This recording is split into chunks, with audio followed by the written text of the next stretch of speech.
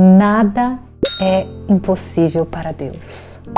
Evangelho de São Mateus, capítulo 19, do versículo 23 ao versículo 30.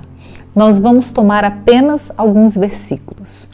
E a palavra diz assim: Então Jesus disse aos discípulos: Eu garanto a vocês, um rico dificilmente entrará no reino do céu. Ouvindo isso, os discípulos ficaram muito espantados e perguntaram: Então quem pode ser salvo? Jesus olhou para os discípulos e disse: Para os homens isso é impossível, mas para Deus tudo é possível. Palavra da salvação. Glória a vós, Senhor.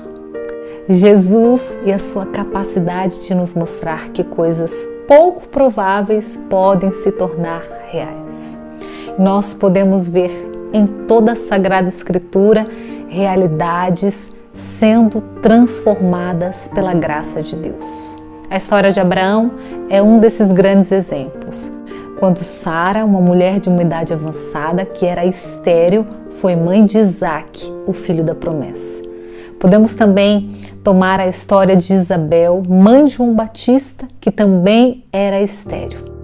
E por último, nós podemos pegar Nossa Senhora, uma jovem que foi tomada pelo Espírito Santo e concebeu Jesus, aquele que veio para nos salvar.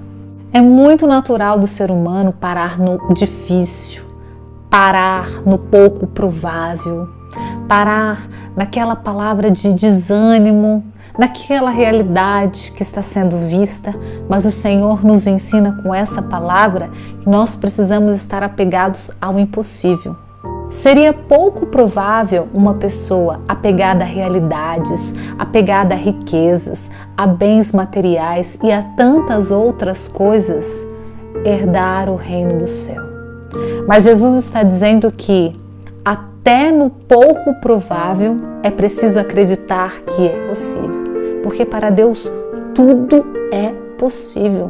Mas para viver o impossível, nós não podemos estar linkado a nada que nos prenda nessa realidade.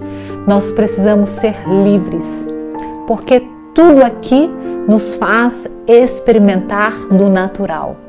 Mas quando somos livres e abertos para confiar naquele que tudo pode, naquele que realiza impossíveis, nós estamos nos abrindo para experimentar de fato do que é impossível.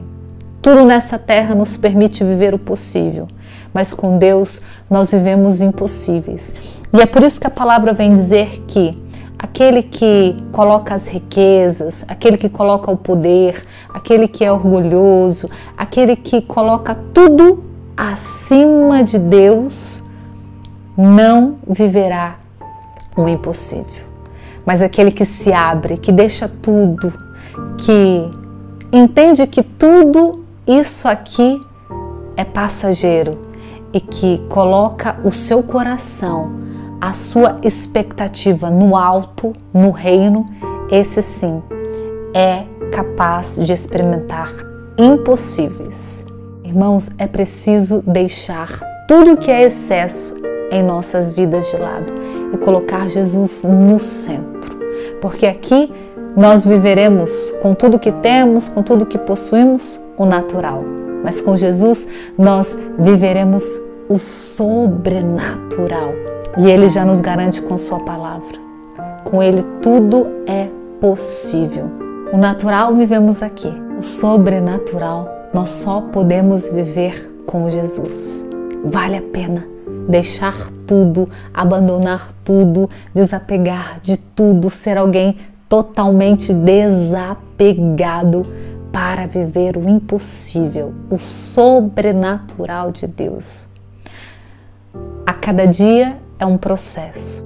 Vamos pedir a Deus a graça a cada dia de sermos pessoas mais livres, menos apegadas, para podermos experimentar desse Deus vivo, do impossível que Ele pode realizar. Que nós possamos nos desapegar do desânimo, do pouco provável, do difícil, para experimentar do poder de um Deus que é capaz de transformar realidades, porque Deus tudo pode. Que possamos olhar além daquilo que podemos ver. Fé é acreditar naquilo que não se vê. Que a cada dia a nossa fé seja uma fé mais alicerçada no Cristo, que nós possamos ter uma fé mais forte para podermos crer que tudo é possível aquele que crê. Nada é impossível para Deus.